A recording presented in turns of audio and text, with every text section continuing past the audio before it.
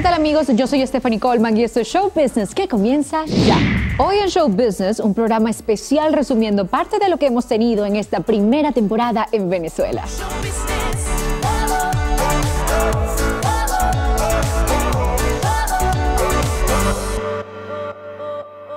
En esta primera parte recordaremos las entrevistas con Oscar de León, Vladimir Lozano, Alicia Banqués, Mocedades y Alquilados en sus visitas a Venezuela.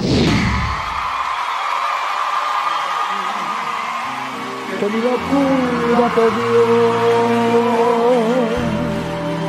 Pero quién si no fui yo, supo enseñarte el camino.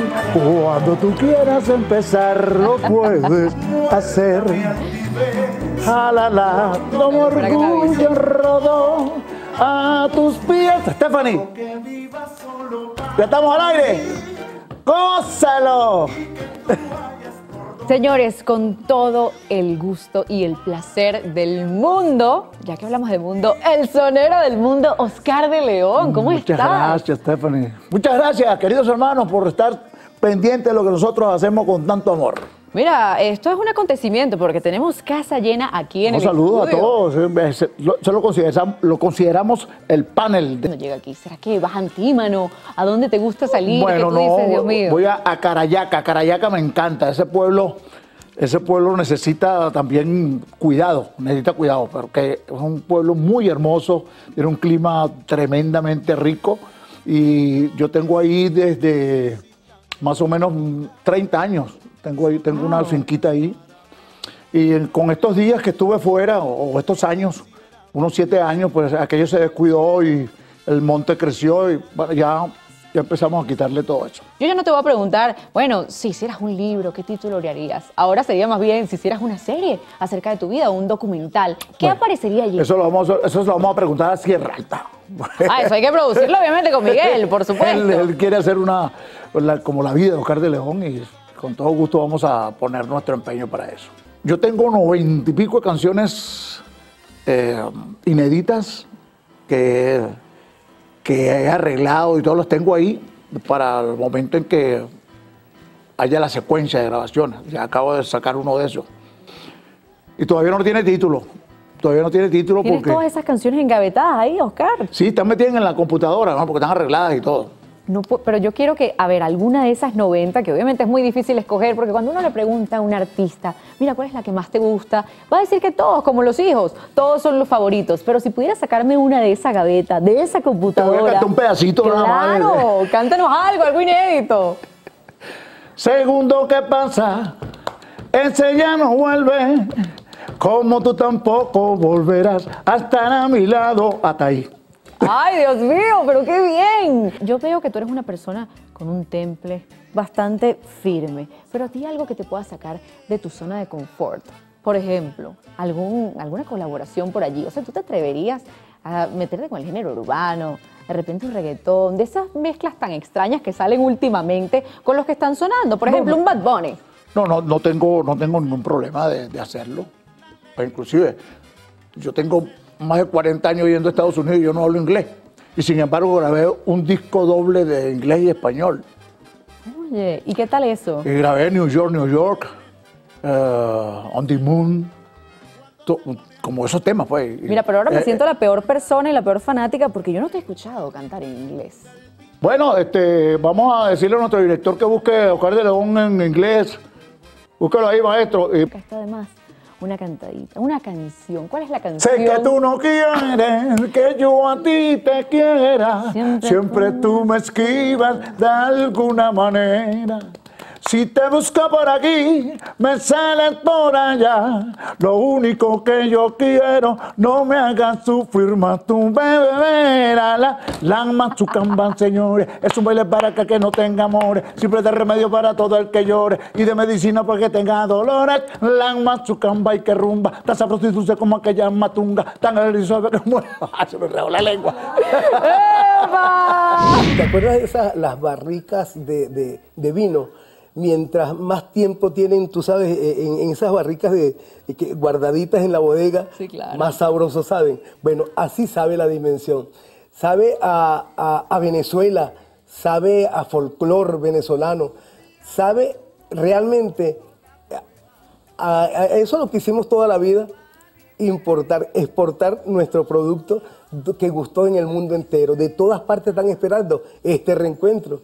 Y mucha gente se viene para acá, para la capital, a estar con nosotros viviendo esto, aparte de nosotros que estamos emocionados cada vez que hablamos del proyecto, cada vez que ensayamos un tema, que te acuerdas de cuál, este, si tú supieras que siempre, o eh, consentida, llevo tantas penas en el alma, o bueno, tantos temas que tenemos montados que no, hombre, este, nadie me ya no tengo quien me cante, ya no tengo quien me llore, ya para siempre me dijo adiós el amor que yo adoré. ¿Para qué quiero la vida? Si mi negra se me fue, si el amor que le tenía, ¿para qué?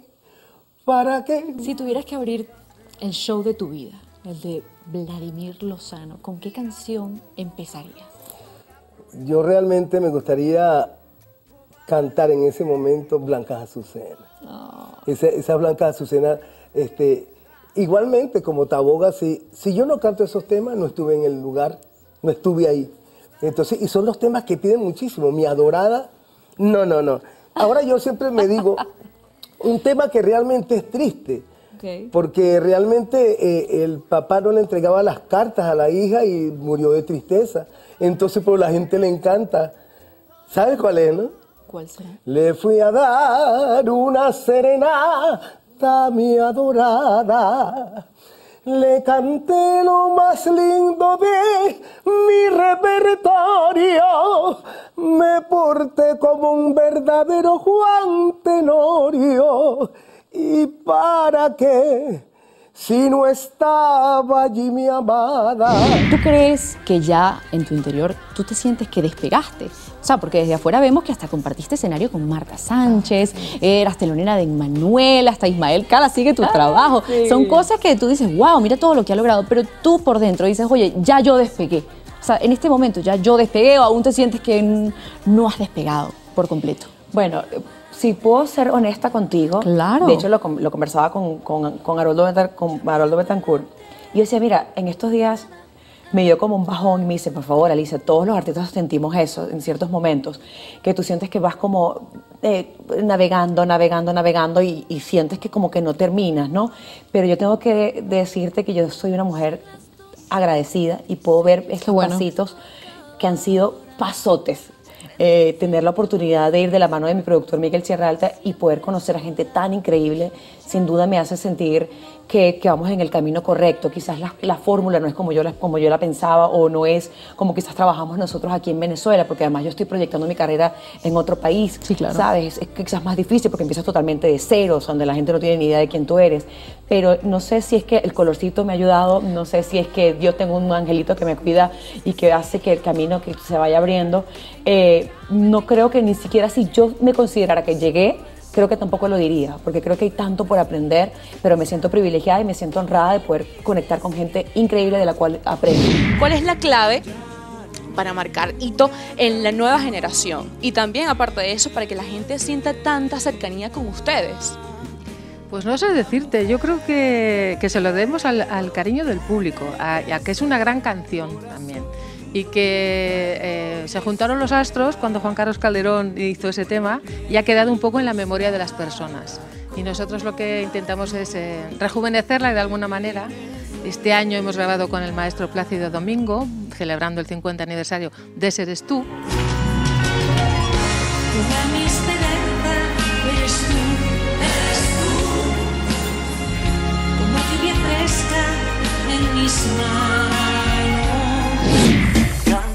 Tu sonrisa, Mona Lisa, tiene algo que hipnotiza, me hechiza. Álbum haciéndole honor a los grandes. ¿Por qué? Porque mm, ¿cómo, se, ¿cómo más celebra uno los 10 años? Con una gira, ¿cierto?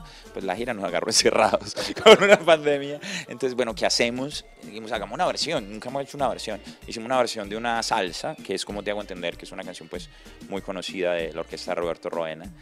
Y a nuestra fanática le gustó mucho, a la gente le gustó mucho y empezaron otra, aunque sea otra más. Y bueno, en esa búsqueda de esa otra, eso agarró un efecto bola de nieve y se nos volvió un disco. Es un disco eh, hecho por puros caprichos. Entonces, a esta canción que, ah, esta le gusta a mi mamá, va para el disco. Y esta, ah, esta se le dedica a mi esposa, va para el disco. Y esta, ah, esta le gusta a mi abuela, va para el disco. Y así, agarramos y terminamos con canciones de muchas latitudes eh, de muchas épocas también pensando en una, en una cosa muy importante que nos ha sonado mucho en la cabeza y es, nosotros hemos tocado un montón de bodas y en un montón de, de pedidas de mano y en un entonces nuestra música ha hecho parte como de la vida de mucha gente, como de la banda sonora de sus vidas. Nos pusimos a reflexionar cuáles eran las canciones que hacían parte de la banda sonora de nuestra vida. Entonces, por eso hay canciones que son tan, pues, tan antiguas porque son canciones de cuando éramos pequeños. ¿Cómo te hago entender que a nadie extraño más que nada me hace falta más que tu presencia? Un regalito a nosotros los venezolanos que los estamos viendo también en la parte de Europa. Queremos escuchar un poquito alquilados. Bueno, vamos a hacer, vamos a hablar de los tributos que en el disco. Por ejemplo, hay un tributo a una canción que nos gusta mucho, que dice, ¿Cómo te hago entender que a nadie extraño más que nada me hace falta más que tu presencia? esa es una. Otra es, Dicen que el tiempo es el mejor remedio para olvidar. Dicen que no hay mal que dure 100 años y no es verdad. esa es otra de las que están al disco. También está, Si pudiera volver a nacer. bueno, ¿qué más? ¿Qué más hay en el disco? Espérame, ah, me falta, tengo otra. Mi corazón es delicado, tiene que estar muy bien cuidado, trátalo bien. Si lo has robado y cuídame, quiéreme, bésame, mímame así.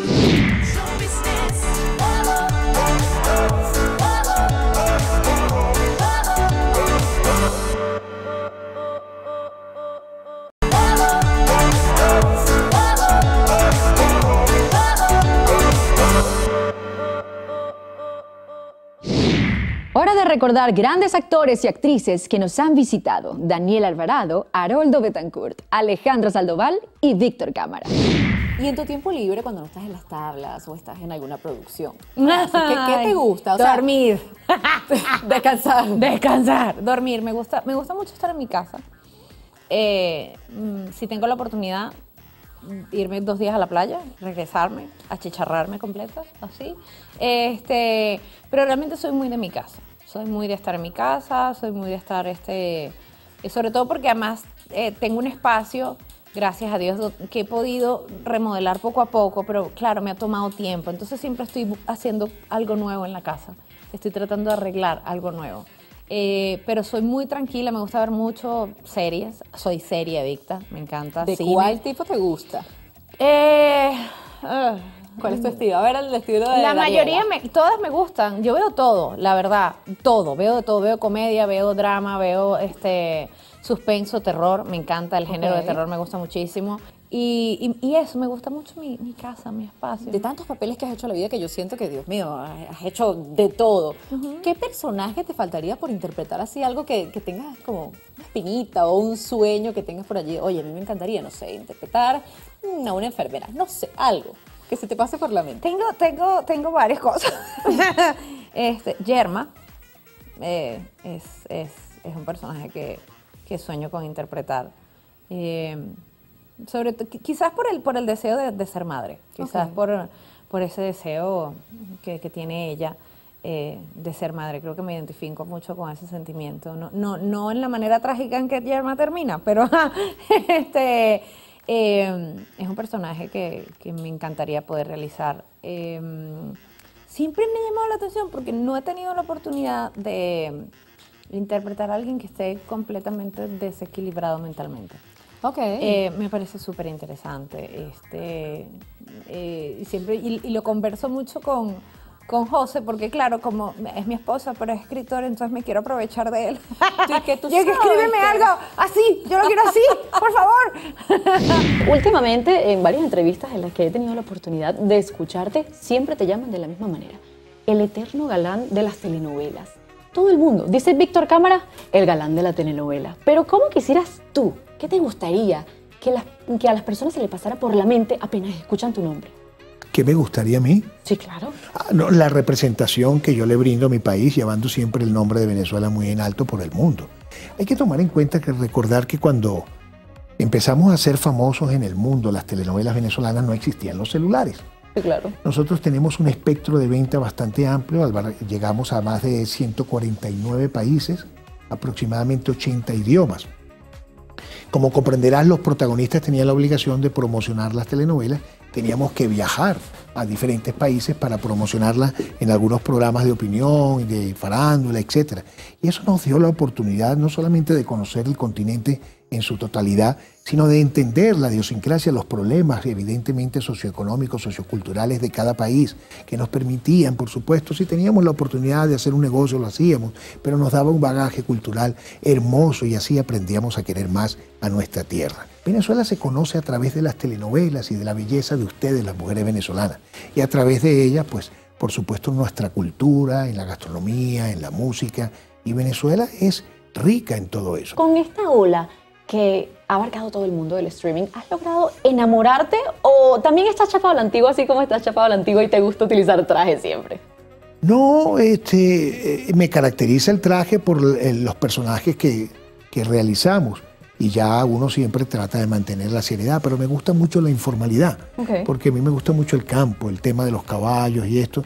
De hecho, aquí siempre vivía de, mis caballos y disfrutaba del campo y la vegetación venezolana. Aproveché la pandemia para estudiar, estudié año y medio, de, los dos años de pandemia que estuvimos encerrados, encerrados, estuve año y medio estudiando online, eh, técnica Meissner. ¿Qué es eso?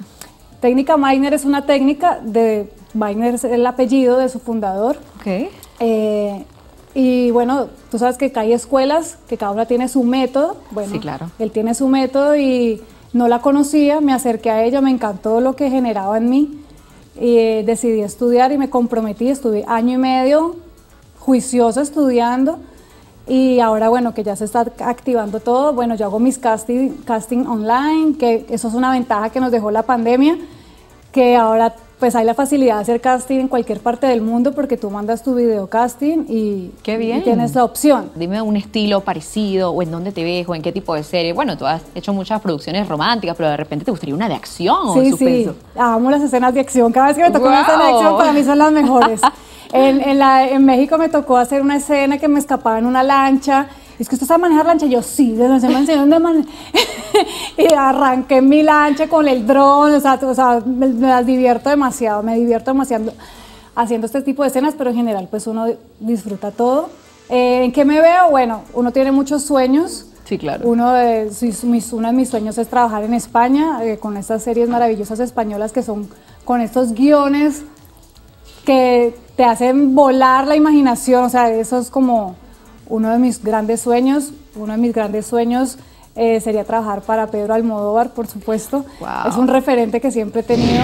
¿Qué hace Haroldo Betancourt hoy en día? ¿Cuál es su estilo de vida? Bueno, no como actor. Ah, vamos con todo. No, mira, este, el estilo de vida es bueno, un poco este, trabajar, seguir trabajando como todos los días, un poco cuidándose de los años y para cuidarse de los años tiene que tener una vida un poquito más eh, apacible con, con, tu vida misma. Entonces te ejercitas, comes bien, intentas hacer para que los años, para que los años rindan un poquito más. Y eso de lo ser galán es verdad, de verdad te lo digo.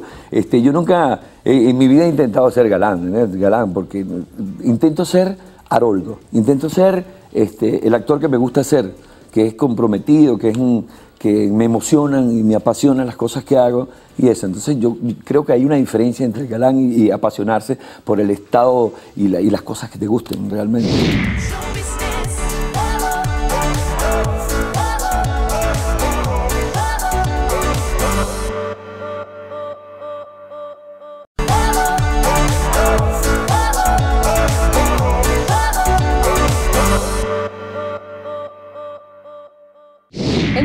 Nos ha visitado en manos de grandes personalidades. Recordemos a Moncho Martínez, Vanessa Senior, Lavero Gómez y Evelyn por mis tacones. Esa transición que has tenido de pasar de ser una figura polémica aquí en Venezuela a una persona que honestamente yo siento que al conocerla lo que hace es vivir la vida como Ay, Stephanie, lo que pasa es que yo antes reconozco y asumo públicamente que mi nivel de, agresividad dentro de las redes sociales era bastante elevado, ¿no? Eh, la migración, irse del país, conocer otras cosas. Eh, pagar la luz en 80 euros hace que tú bajes, que, que bajes un poco esa fuerza, ¿no? Y te das cuenta de que no es necesario tener tantos gritos para ser escuchado.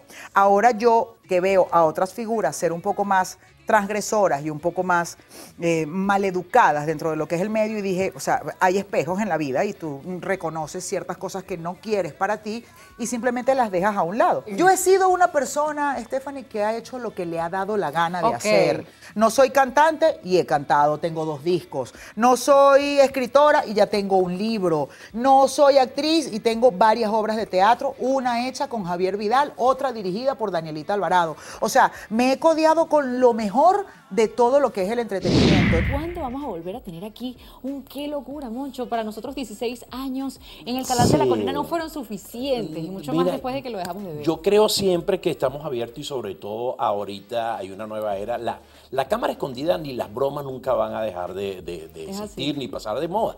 Porque la, la sociedad es de cómplice. Todo el mundo tiene su malvado escondido. Claro. Entonces esa sociedad de cómplice es bien sabrosa y todo el mundo le encanta hacer una maldad, hacer, en el buen sentido de la palabra, claro, está algo divertido, esas complicidades. Y creo que ahorita hay una nueva camada de actores, de artistas, de cantantes en el mundo, en todo este boom que está pasando del gran show business internacional, que creo que es un momento idóneo como para hacer una buena cámara escondida y que esté de vuelta. Hay una nueva generación también de relevo, nuevos provocadores, nueva gente, pero bueno, nunca se pierde el conductor, por favor, no me dejen sin chamba. ¿Cómo tú eres comediante hoy en día con esta generación de cristal? ¿Cómo- ¿Cómo, ¿Cómo es posible que ese siga siendo una profesión que tú puedas llevar a cabo con la sociedad queriéndote destruir a cada dos minutos de la vida? Tú sabes que yo todavía no, no tengo la capacidad de hacer costra. Hay gente que te dice, no, ya yo hice costra, a mí no me importa, es mentira. O sea, a mí cada vez que me cancelan por algo que digo es como, aléjate de las redes, no leas porque vas a llorar, porque, porque además la gente piensa que te puede decir cualquier cosa. Total. Además gente que no te sigue, que saca las cosas de contexto y las pone ahí. Pero ah, yo creo que al final cuando te gusta algo, cuando te apasiona, entiendes que hay un público que te quiere, que te va a ver, que le gusta tu contenido y que los demás que no lo vean y ya. Yo no le pido, yo no obligo a nadie a que vaya a mis shows. Entonces, al que no le gusta mi comedia, que no vaya, que no pague una entrada para verla. Entonces, a mí me gusta hacer comedia, eh, me encanta, sí, me parece riesgoso porque además siento que siempre hay alguien que se puede ofender con un chiste.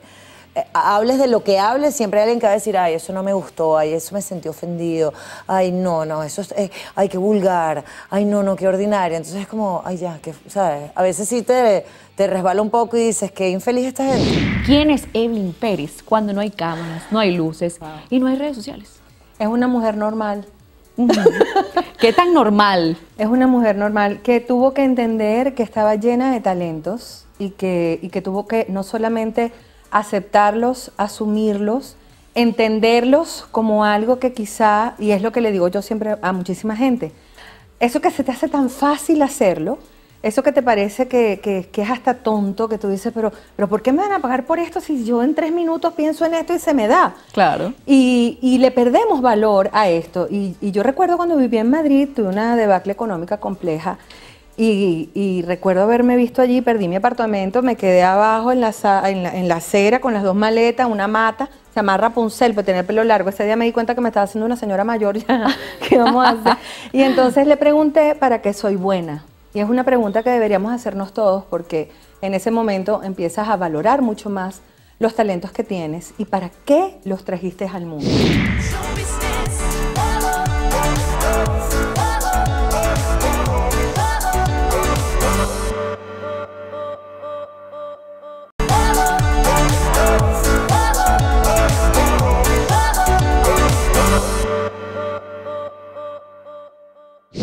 Profesionales de varias áreas vinieron y también son influencers. Veamos un poco de lo que nos contaron Jesús de Alba, Nutriyermo, Shili Costa, Vanessa Maradona e Iván López. Descríbeme cómo es viajar con el otro, cómo es viajar con Iván y cómo es viajar con Vanessa.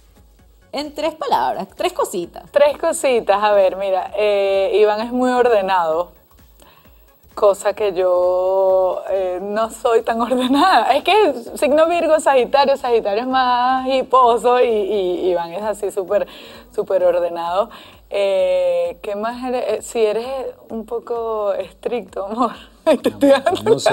Ordenado, estricto y, y divertido, divertido. Sí. ¿Y, y con Vane? ¿Cómo es viajar? Viajar con vanes es como montarse en la montaña rusa tú no sabes qué va a pasar, todo, Va a todo la es deriva. espectacular. Todo es bello. Entonces yo me dejo llevar porque, pues, ¿qué más voy a hacer? ¿Y ya han grabado eh, algunos fragmentos con alegría? ¿O, no? ¿O aún no? Sí. Sí, Ay, no, Roque. Dios mío, ¿y cómo ha sido eso? Bueno, sí, d- ajá, voy yo, voy yo. Tú sabes que, bueno, para viajar en familia no es lo mismo que uno eh, aventureando, es como que agarra el traje de baño y vámonos. No, Sí, aquí claro. ya es más.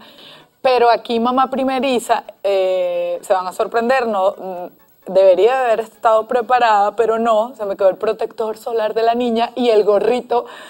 Y yo por todo el aeropuerto de Maiquetía buscando, grabé, grabé eso, eso sale en el programa. Y yo, Dios mío, o sea, no, yo soy buena madre, pero no sé qué me pasó, no sé ¿Y de la no emoción, parece? producción, ¿qué es esto? ¿Qué estoy haciendo con mi vida? Lo conseguí, el gorrito, el protector.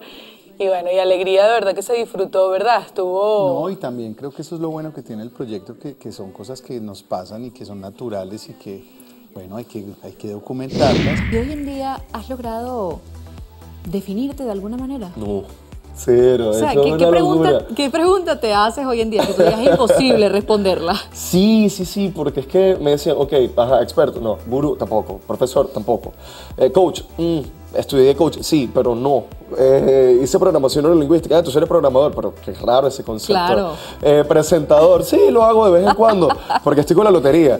Eh, pero, pero no encuentro un concepto como tal. Además, Jean-Paul Sartre, un filósofo francés, decía que no somos algo, no somos un nombre, somos proceso en constante cambio. Entonces, este Jesús no es Jesús del año pasado, ni mucho menos el del año antepasado.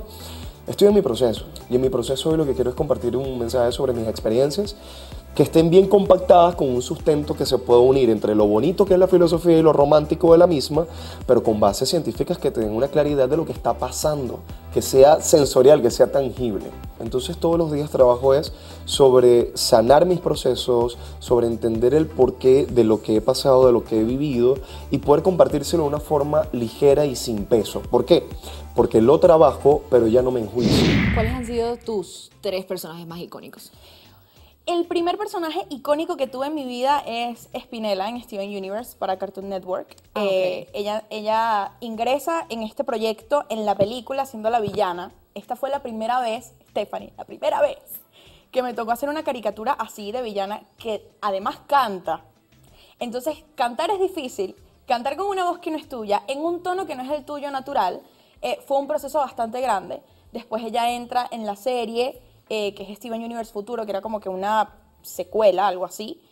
Y fue el personaje más icónico en ese momento porque fue un reto y, yo no sabía que tanta gente seguía este proyecto. Llega Narlene a mi vida después de, de ese proyecto, que Narlene ha cambiado mucho mi vida también.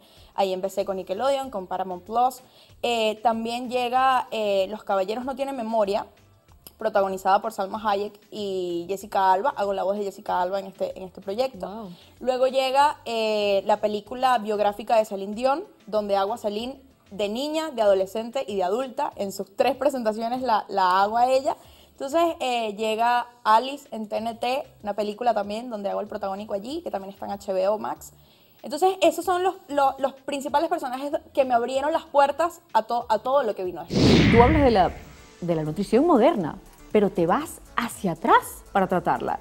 Huevo, carne y pescado. Entonces, con, con esa ambigüedad allí entre lo moderno y lo antiguo, ¿cómo es eso? ¿Qué tiene que hacer uno con una planta si quiere que la planta viva en condiciones y florezca y esté bien? Regarla. Hacer lo que todos los antepasados de esa planta hicieron. Ok.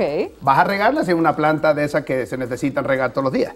Sí, Si es un olivo y lo rega todos los días, se muere. Entonces tú tienes que interesarte por cuál es el pasado del olivo y déjame hacer lo mismo que el olivo históricamente ha hecho para estar bien.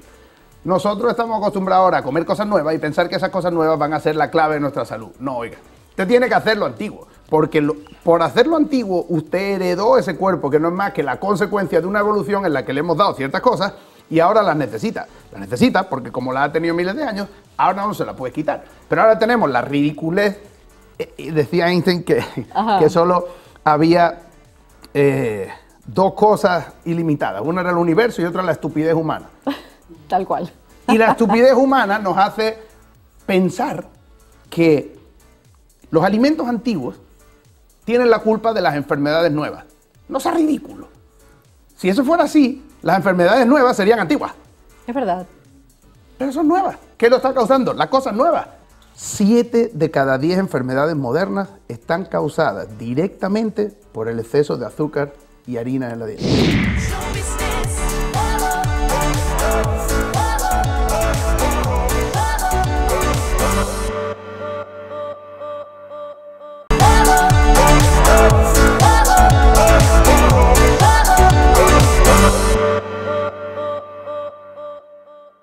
Esperamos hayan disfrutado este especial que hicimos para recordar parte de lo que les hemos presentado en esta temporada. Comenzamos con música y culminamos con música. Recordemos a la melodía perfecta, Sixto Rein, Noré, Roberto Antonio y Criollo. Eso me fascina, que los artistas sean congruentes con lo que cantan y con sus estilos de vida, porque ya yo no te veo como el Sixto de tapita. Eso ya no Exacto. sucede, ya no me Exacto. pasa. Ahora es más un Sixto como el del milagro, pero no deja de tener un ritmo espectacular y por supuesto un gran talento. Además de que también me encanta que seas de esos artistas humanos que siempre se han mostrado como son y bien lo evidencia tu vida personal, Sixto, que pasaste por ese proceso no solamente físico, sino interno también tan duro como el tema de la depresión, hasta sobrepeso y fíjate cómo te ves ahora en tu máximo esplendor y eso me encanta, te veo bien. Sí, sí, bueno, eh, eso fue lo que Dios quiso, quiso que, que viviera, ¿no? Yo no me arrepiento de nada y hay una frase muy bonita que dice que lo que viviste ayer es lo que te hizo ser quien eres hoy. Y exactamente, yo creo que el Sixto Rein de Tapita es fundamental para, para el Sixto Rein del Milagro y el Sixto Rein de qué nivel, el Sixto Rein de Feliz Cumpleaños, eh, que valora mucho más las cosas y que las vive desde otra perspectiva, desde otro punto de vista. Eh, creo que es necesario, sin duda es necesario vivir todas esas experiencias, así que un, un consejo para todos, no solo los artistas, para todos los jóvenes que, que están experimentando en los caminos de la vida, que lo vivan a plenitud, que lo vivan al máximo y, y que se den cuenta, porque yo creo que en el arrepentimiento puro es donde encontramos esa sabiduría. Ahora sí, háblame de ese disco que se viene por allí. Bueno, eh, una de las cosas más particulares es que eh, definitivamente voy a tener invitados muy importantes y, y no solamente importantes a nivel de, de números o de alcance de todo esto, sino también importantes porque consideran que las canciones en las que nos montamos pues este, significan lo mismo que para mí, ¿no? Eh, ya por ahí no es un secreto para nadie, pues, porque yo monté como una historia, una cuestión así en las redes que, que Wheeler va a estar por ahí. Este, vamos a hacer otra otra cosa, pues otra canción. y- Tienen que hacer y- otra, por favor. y nada, estamos en- justo trabajando en eso. eh, y como te dije, pues, la, la oportunidad de poder como definir un estilo, yo creo que sencillo, salen muchos todos los días, pero buscar conceptualizar un disco junto a mi equipo de trabajo, este, con- conmigo como, como director, no solamente musical, productor, compositor completo, y, sino diseñador y director de, de video. Entonces, eh, honestamente ha sido un reto. Yo pensé que sería mucho más sencillo de lo que terminó siendo, pero, pero un reto cool. ¿Cuál sería el sitio que más te ha maravillado? A un hombre que le encanta navegar, por lo que estábamos conversando el mar, del aire. los roques, la tortuga, eh, lechería. O sea, yo soy, para mí el contacto con el mar es el contacto con algo extraordinario.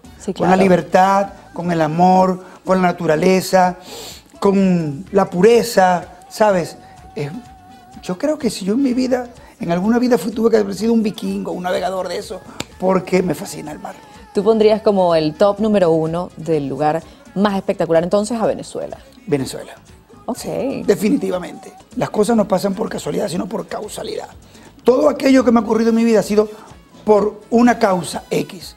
Este, y cada una de esas causas siempre han llevado a algo muy interesante en mi vida, que es a crecer como ser humano y a lograr cosas que en mi vida jamás pensé que podía lograr. ¿Qué es lo peor de trabajar uno con el otro? A nivel de hermanos, porque por ejemplo, yo pensar en trabajar con mi hermana ya me duele la cabeza. ¿Cómo hacen ustedes para llevar eso?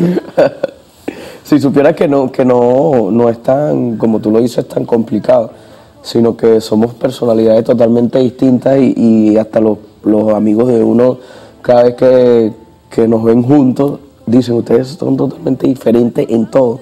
Y creo que ese es el, esa es la fórmula, porque si, creo, que si fuéramos igual, a lo mejor chocaríamos mucho en el proyecto como, como hermanos y siempre hay sus días malos, pero no, nunca, nunca discutimos, sino mira, ¿qué piensas tú de esto? Mira, a mí no me gusta. Yo monto historias rumbeando y él dice, este, le pasa algo por ahí. ¿Qué te pasó?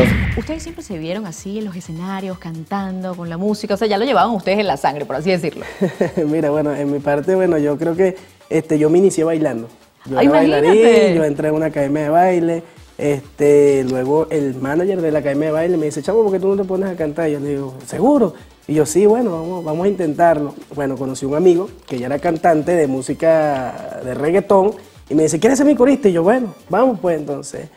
Eh, me coloca atrás y, y resulta ser que el show de él duraba una hora y algo y yo lo que decía es dale, dale, y dale, dale. Y, todo, y entonces, no, no, yo dije, no, no, no, esto no es lo mío. O sea, yo me quedo con el baile, o me pones a cantar o me quedo con el baile. Mira, Félix, y tú, cuéntame. Bueno, no, es que a veces Gabo se, se hace unos pasos de TikTok Sí, en, sí, en sí, tarima. sí. Tú eres el señor de las coreografías de TikTok, por Sí, favor. Pero, pero criollo, criollo, el formato criollo no se presta como para uno, pero no está de más hacerlo. Y bueno, sí, Invéntalo. en, una, en una por ahí la- lo, lo he hecho en varios shows. Claro. Me gusta. ¿Y por acá qué tenemos? Bueno, en mi caso, yo, empie- yo empiezo en la música ya, ya un poco, digamos, tarde, porque nunca es tarde, pues empecé a los 13 años de edad. Este, ¿Tarde a los 13 años? A los 13. No, yo, chico, yo hubiese querido, yo hubiese querido empezar a los 5, pero bueno, empecé a los 13. Este, me regalaron cuatro y tal, empecé a tocar cuatro. Y a mí siempre me gustó fue la guitarra eléctrica. Y bueno, eso fue una pelea hasta que me decidí seguir con el 4. Y por supuesto, de verdad que siempre, o sea, siempre fue como que mi sueño y siempre me vi como que en una tarima llevando música, haciendo música y, y transmitiendo este, el talento o lo, que, o lo que me gusta hacer a otras personas. Ajá. Esto es en vivo, ¿ok? Ah. María Antonia es una mujer que está loca de remate. Escribe con una escoba y barre con un papel mate. María Antonia es una mujer que está loca de remate. Escribe con una escoba y barre con un papel mate. María Antonia, no estás loca, déjate de tonterías. Métete en el manicomio, se te quite esa manía. María Antonia, no estás loca, déjate de tonterías. Métete en el manicomio, se te quite esa manía.